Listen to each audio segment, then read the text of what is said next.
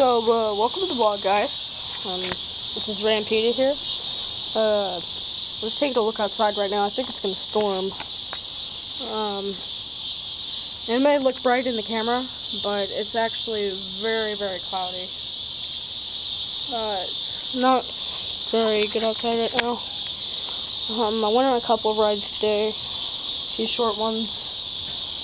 Just trading little flats. And, uh, I like my hips, like my left hip and my right hip are both extremely sore. I don't even know why. I mean, is it the swimming? Because I've been swimming a lot lately, or is it my just my cycling overall?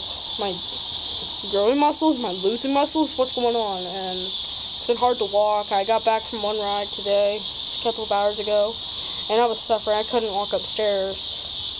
I was suffering. But it's recovered a little bit now. Um, it's really hard on me. Um, I just wish that there wouldn't be a sore, so tomorrow I can actually ride a lot more. Tomorrow is just going to be a day on the couch for me. I don't have much that I'm doing tomorrow except just probably laying on the couch. I wanted to go to the the swim pool and go swim a little bit.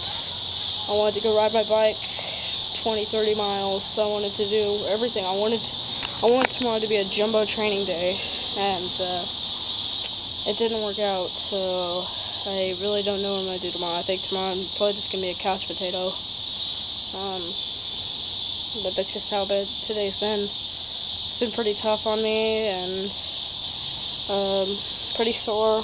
I can walk. Uh, it's pretty hard. Um, just like taking Percy outside is hard. Everything has been just a little bit more tough.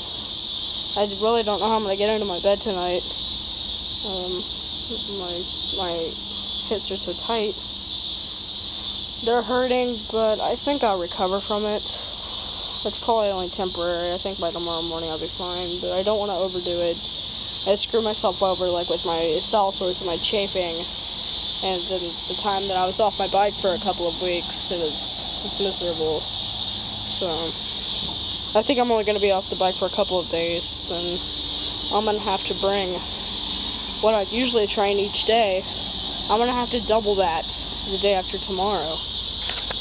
So, um, just by doubling that, it might just give me a little bit higher up in my training. But it's been pretty tough on me.